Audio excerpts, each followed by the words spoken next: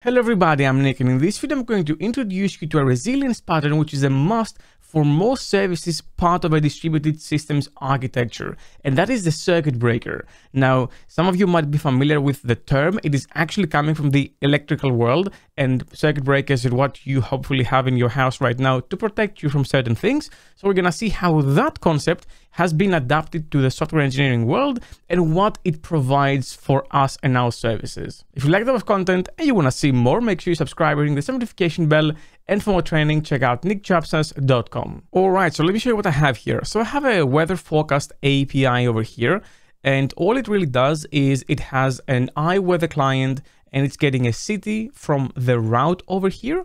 And then I have an open weather client with an API key to call a real uh, API that is the open weather API. So my HTTP client here has been configured to call that. And if I went ahead and I run my API and then I go to Postman just to show you how it works, then as you can see, I can call that and I'm getting the weather for London. And this has been the actual weather for London via the Open Weather Map API call. And I can change that if I want to Paris and so on. So I'm going to get uh, the appropriate country and city and then all the details for the weather. Now in the previous video I showed you how you can add retries to this operation to make it more resilient.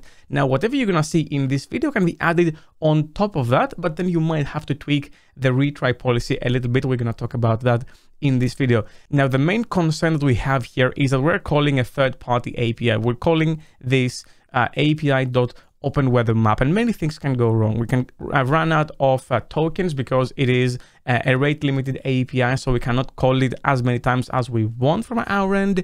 Uh, it can also go down, it can respond badly. So, so many things can happen. So what we want to do is to make sure that anything we do with this API is resilient and we have backups in case something happens. Now, in the previous video, I showed you how you can add retries to this exact example, and this will work. But what I'm going to show you now with Circuit Breaker can actually take this concept to a whole new level. Now, before I show you how to implement a circuit breaker, we need to understand what is a circuit breaker. So I'm going to bring the whiteboard just to show you with a graph what we're trying to achieve. All right, here we go. So what I want to do is I want to draw a simple uh, electrical circuit here. Now, imagine that there is more things here. I'm just going to color them in a different way. Like this is not the full circle. There's more things that we cannot see here.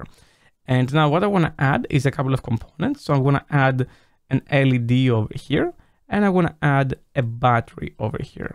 Now in this example, we can assume that the circuit is closed, meaning that the LED is actually shining. However, if something goes wrong with any of the components downstream, let's say something here, or it could be anything upstream as well, I'm just simplifying the graph I'm making, then we might have a breaker. And what the breaker will do is it will pop open to save all the downstream components. So now with the circuit breaker open, because there is no connection over here, the flow is interrupted. So when we say state open, that's why we say that, because it looks like an open door interrupting the flow. But if it is in a closed state, then electricity is flowing. Now, what did I say here? I said open means no flow in the system, closed means flow in the system because the system is healthy. And then I also said that this thing pops open when there's a fault in the system to protect the rest of the components. This is exactly the idea and the concept we're going to take from electricity and put it into software engineering. So let's see how that translates for us. What do we have here? Well, we have an API over here where we don't control anything about it, how healthy it is, how it can recover, when it will recover, how it's going to rate limit us. There's so many things here. Now, for the purposes of the examples and just to make it easy for you to visualize the problem and the solution, I'm going to use a locally rolled flaky API, which responds with the weather in the same way that this other API would as well. However, I'm going to be running it locally and I can actually pass a f equals true flag. And if I do that, then the thing will actually fail and I can visualize a problem. So if I go ahead and I run my flaky API right now, and then I go ahead and I debug my weather forecast API. So as you can see, if I go here and I call Paris with f equals false, then it all works fine. If I say f equals true, then it fails with a 500 and I'm getting a JSON serialization exception over here. So this will help us visualize the problem. Now, how can we take that concept and implement it in our code? Well, we're going to start with something very basic and we're going to say that if an amount of errors happen, then open the circuit. What we're gonna do while the circuit is open is up to us, but it means that as long as it is open for a given period of time, there is no request that will go to that API. Now, to implement the circuit breaker, I'm actually going to add Polly, a NuGet package that will make this extremely easy for us. We could implement it manually, but we don't need to. So I'm gonna go ahead and add Polly, and I'm not going to add the Polly package, the standalone version, I'm going to use the microsoft.extensions.http.polly, and I'm going to do that because it adds integration with the HTTP client, which we will be using later. So now that I have that, I can go up here and I can define my circuit breaker. So I can say private read-only async circuit breaker policy, and that's going to be on the HTTP response message object. And that means that policy now is reusable. So circuit breaker equals that. And now I can use Polly's Fluent API to define what I want to happen. So policy and the type is of course the HTTP response message. I want to handle the HTTP request exception or transient HTTP error. And that is a method coming from that package, the Microsoft version. And then I'm going to say circuit breaker async, the simple circuit breaker, and then I have a few things I can define. So first we have the handled events allowed before breaking. So how many exceptions or bad results can happen before the circuit breaks open. So in my case, I'm gonna say three. If three things fail with these instructions, then open the circuit and prevent it from going and calling that API any further, therefore protecting it. And I can then say open the circuit for a period of from seconds 10. Now I could leave it here, but there's more things I could define. For example, if something happens on breaking open or on resetting or on half open, and we're going to explain what half open is as well. Then as you can see, there are delegates which you can implement to do certain things as things are open or closed or are in a half open state. And now that I have the circuit breaker, what I can do is use it here. So I can say await circuit breaker dot execute async, and then I'm going to wrap that into uh, a delegate over here. And that's it. Now our call to this API has been wrapped with that circuit breaker pattern. Let's go ahead and run the Flaky API and the forecast API, and let's see what this does now. So I'm going to start with the good request. So I'm going to say f equals false, and this all works. As you can see, happy days. But if I go ahead and I say true, and I fail three times. Let's see, one, two. Now I'm gonna go back to the happy state. So it only failed twice. Now that it's in a happy state, that circuit counter in this case has reset in this simple circuit breaker. And if I go back and I say true, I can say one, two, and I'm gonna say three, and now the circuit is open. So if I call again, as you can see, the circuit is open and it is not allowing any calls. And if I was debugging this, uh, calling this, you would be able to see over here in the circuit breaker that the circuit state was open. Now it is half open. Now, what does half open means? Well, half open means I'm going to give you a shot to show me if you are now healthy. If you are not, then even one request that fails is enough to put me back in an open state. But if you succeed, I'm gonna go back to close. Let's remove the breakpoint and see that in action. So I'm gonna go back to healthy and it all works, right? The circuit is now closed. And then I'm gonna go true and I'm gonna say one, two, three, and now we failed. And I'm gonna wait for 10 seconds.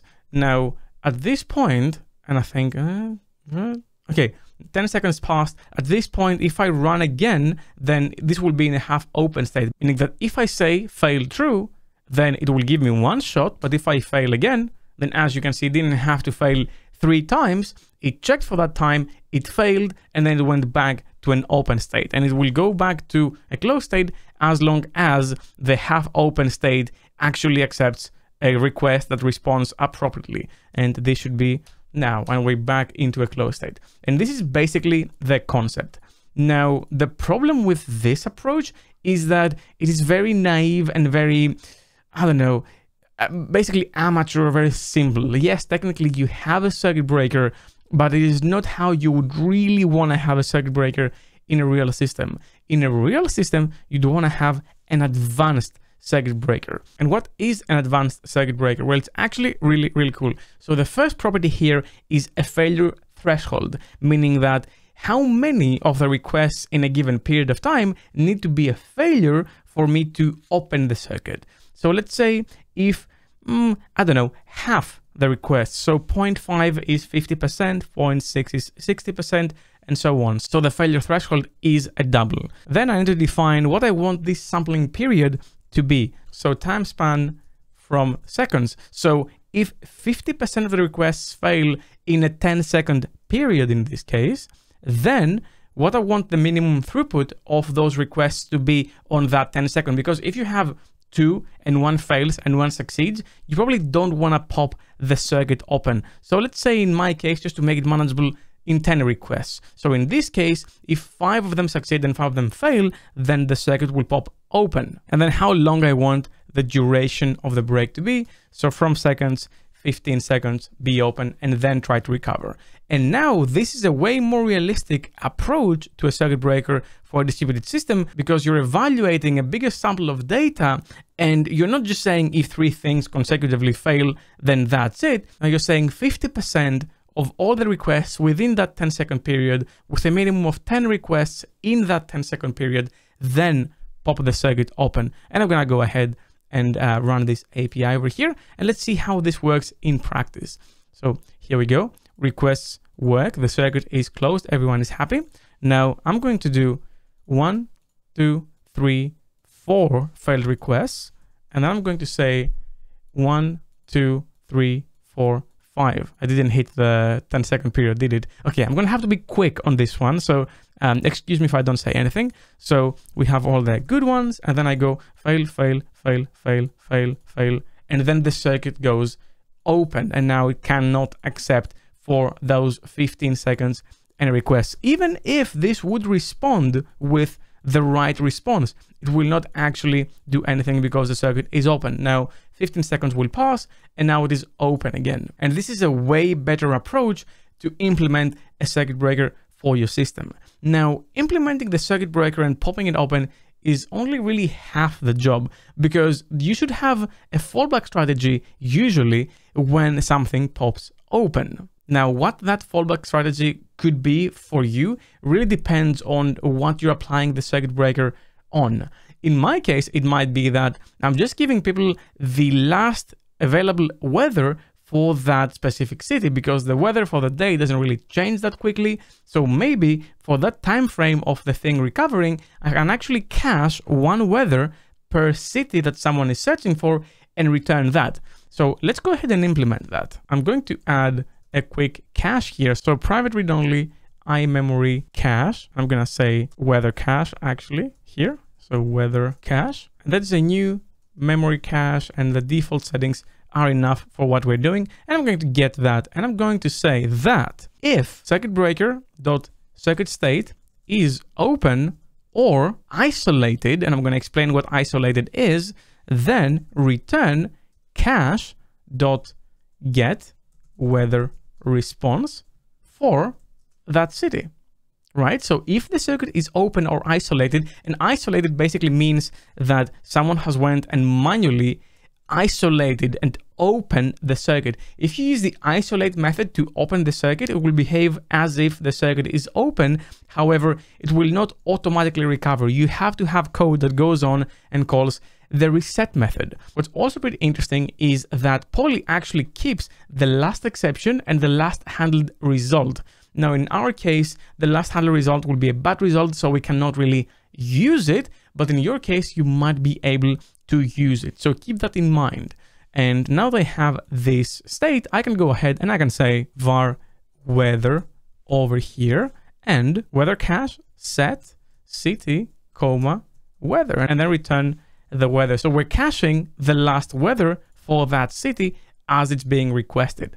And now look what that does with the whole system being in place. So I'm running the Flaky API and I'm going to run the weather forecast API. Here we go. So I'm going to say fail false. So this all works now when we have the last France weather cached. And then I'm going to go and say fail true. And I'm going to try to make this break. So the circuit breaker will go open now. And as you can see, even though I say F true, it is actually detecting that. Let's see it here. Let's debug the code.